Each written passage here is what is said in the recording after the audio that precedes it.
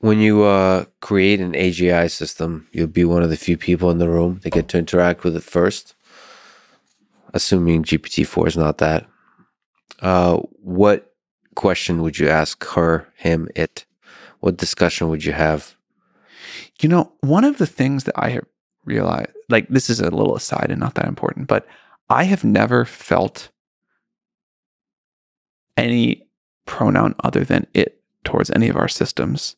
But most other people say him or her or something like that. And I wonder why I am so different. Like, yeah, I don't know. Maybe it's I watch it develop. Maybe it's I think more about it. But I'm curious where that difference comes from. I think probably you could because you watch it develop, but then again, I watch a lot of stuff develop, and I always go to him and her. I anthropomorphize uh, aggressively, um, and certainly mo- most humans do. I, I think it's really important that we try to explain to educate people that this is a tool and not a creature.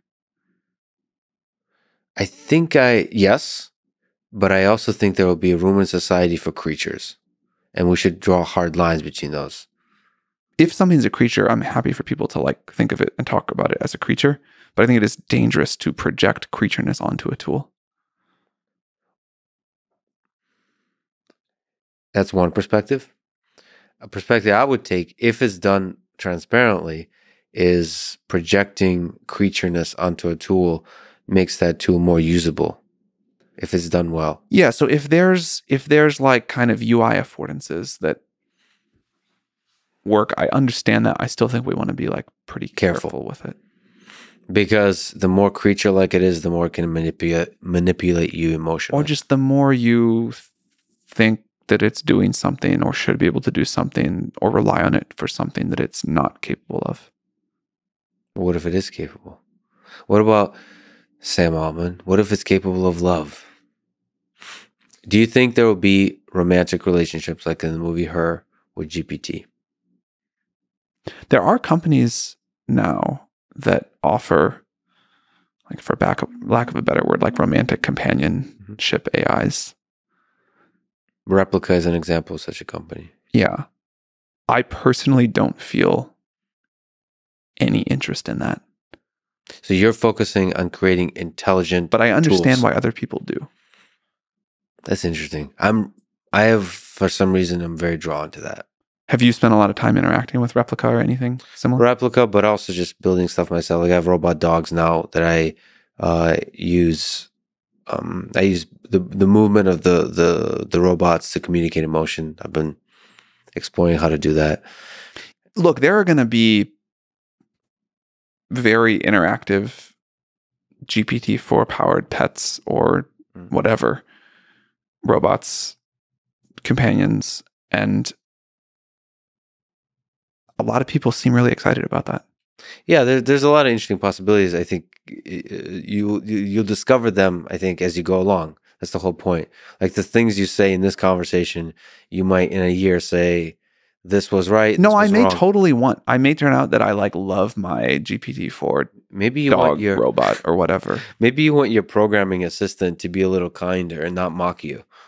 I your incompetence. no, I think you do want um the style of the way GPT-4 talks to you. Yes. Really matters. You probably want something different than what I want, but we both probably want something different than the current GPT-4. And that will be really important, even for a very tool-like thing.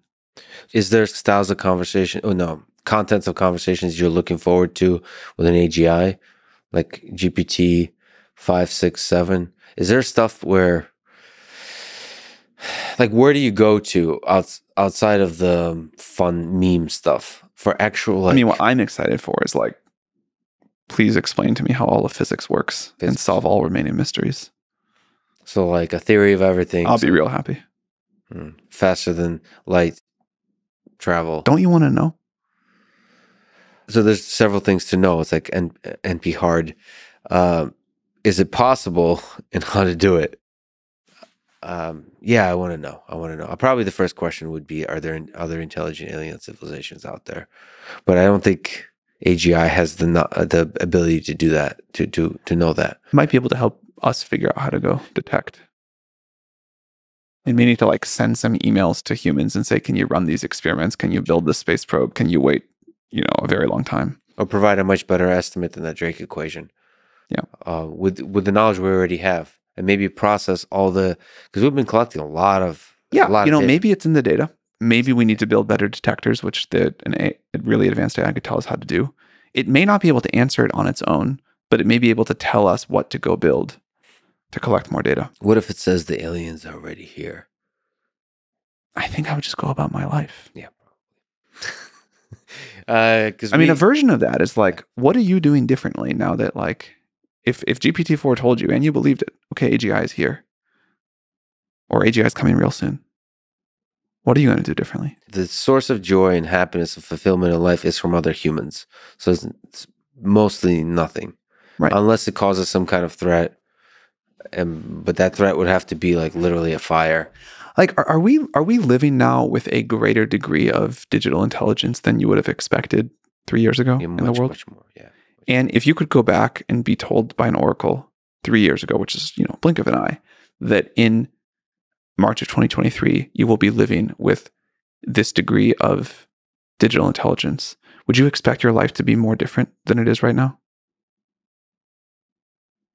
Probably, probably, but there's also a lot of different trajectories intermixed. I would have expected the um, society's response to a pandemic uh, to be much better, much clearer, less divided. I was very confused about there's there's a lot of stuff given the amazing technological advancements Yeah. that are happening, the weird social divisions. It's almost like the more technological advancement there is, the more we're going to be having fun with social division. Or maybe the technological advancement just revealed the division that was already there. But all of that just like confuses my understanding of how far along we are as a human civilization and what brings us meaning and what how we discover truth together and knowledge and wisdom. So I don't I don't know, but when I look I, when I open Wikipedia, I'm happy that humans were able to create this thing. For sure. Yes, there is bias. Yes, but it's incredible. It's a triumph. It's a triumph of human civilization. Hundred percent. Uh, Google search, the search, search period is incredible. The way it was able to do, you know, 20 years ago, and and now this this is this new thing, GPT, is like, is this like going to be the next like the conglomeration of all of that that made uh, web search and Wikipedia so magical, but now more directly accessible. You can have a conversation with the damn thing. It's incredible.